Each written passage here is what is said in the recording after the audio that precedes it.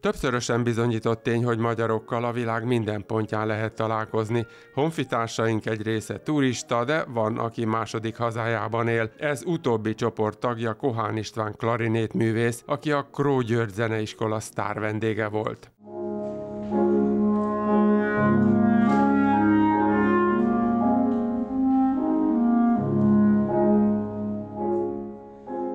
Virtuóz klarinét játékkal köszöntötte a publikumot a Japánban élő magyar művész Kohán István a Kró György Zeneiskola koncerttermében. A művész előző legmesterkurzus tartott a növendékeknek, a benyomásairól kérdeztem őt. Nagyon aranyosak, kedvesek, nagyon sok gátlást kell feloldanunk, szóval ez nyilván ez, ez nekünk a sajátunk, hogy, hogy önmagunkat megkérdőjelezve növünk itt föl, de előremutató. Előfordult már, hogy érdekes válaszokat kaptam arra a kérdésre művészektől, zeneművészektől, hogy milyen neműnek érzi a hangszerét. Ha erre most válaszolnom kéne, azt mondanám, hogy egy hangszer valószínűleg csak, csak is nőnemű lehet.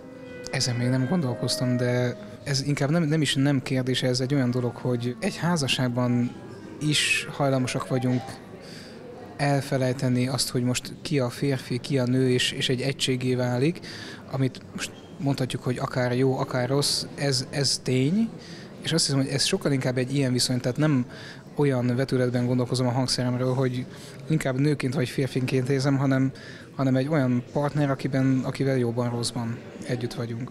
A Kró György Zeneiskola igazgatójától, Szélritától azt kérdeztem, hogy mennyire népszerű a klarinét a hallgatók körében. Szerintem nagyon népszerű, és valahogy úgy hozta a sors, hogy egészen kiváló tanárok dolgoznak az iskolában. Ezen a tanszakon is nagyon sokan a növendékek közül részt vesznek a különböző korcsoportú fúvózenekarok munkájában, és az azt hiszem, hogy a személyes előadásmódjukat is pozitívan befolyásolja. Kohán Istvánról és a mesterkurzusról is beszélt az igazgató. Zeneszerző, előadó, művész, tanár, és nem csak ez a ma esti koncert érdekes, hanem a nap folyamán már délelőtt és délután klarinét kurzus tartott a növendékeink számára különböző korcsoportokban. Ez az NK támogatásával a mesterkurzusok sorozatban zajlott. Ez a ma esti koncert pedig szintén az NK a zenei kollégiuma támogatásával és a Kőbányai önkormányzat támogatásával valósul meg. Ez pedig a világhírű művészek a Kró György Amiban koncert sorozat része, ennek az első koncertje, és majd ősszel Balázs János szóló estjével fogjuk folytatni ezt a sorozatot. Itt a tavasz, a Króban ez mit hoz? Hát sok-sok programot, sok-sok koncertet, áprilisban a szünet után folytatni fogjuk a Nyílt Nap programjával, amelyre, amely majd 27-én szombaton, április 27-én szombaton kerül sor. Nagyon várjuk a kőbányai óvodásokat és ifjakat, és mindazokat, akik szeretnének hangszert tanulni, illetve megkezdeni zenetanulmányaikat, akár zene óvodai programokon. Aztán májusban a kőbányai óvodásokat látjuk vendégül, sok-sok gyerek szokott érkezni, amikor a mi legkisebb növendékeink muzsikálnak nekik, és bemutatják a különböző hangszereket. Illetve hadd említsem a holnapi napot, amikor az iskola barok együttese, a barok kamarazenekarunk Tegyei Zoltán vezetésével az öt pacsírta szalon vendége lesz, és egy fantasztikus barokk programot adnak elő holnap.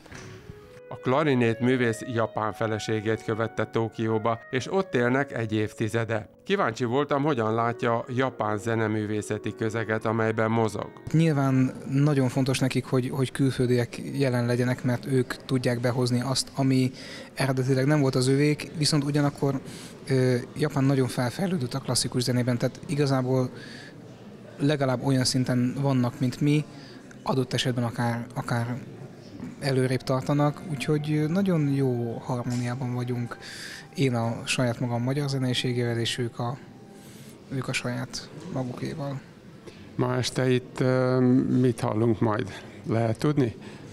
Főleg olyan darabokkal készültünk, ami, tehát nyilván ugye zeneiskolásoknak játszunk főleg, zeneiskolában, tehát amivel ők is találkozhatnak, vagy meg kell célozni olyan darabokat, és hát próbáltunk összeszedni egy élvezetes programot belőle.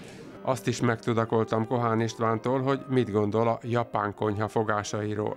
Az az ok, ami miatt mindig hiába akár még húzna is a szívem haza, nem, nem tudom ott hagyni. Mert nyilván amit a leggyakrabban teszünk, az eszünk, Úgyhogy ha valaki tényleg áll a japán gasztronómiára, akkor nagyon nehéz attól elszakadni. Mi a kedvence? Ez lehet, hogy meglepő lesz. Van egy szoba nevezetű étel, ami gyakorlatilag hajdina, hajdinából készült tészta. Nagyon egyszerű, nagyon visszafogott, és mégis nagyon izgalmasan meg lehet csinálni. És ez olyan elemek, mint a natto, ami ugye erjesztett szójabab. Szerintem az valószínűleg a külföldiek nagy része nem szereti, én sem. Ha a feleségem NATO teszik, akkor én is és a lányom is menekülünk a konyhából, az biztos.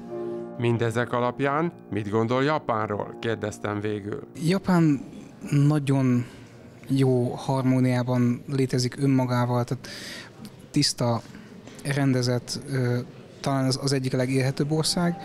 Nyilván sehol sem fenékig tejfel, de nagyon, nagyon kellemes ott létezni. A felkelő napországa tehát befogadta a magyar művészt, aki azért idehaza is átadja tudását az új nemzedék tagjainak.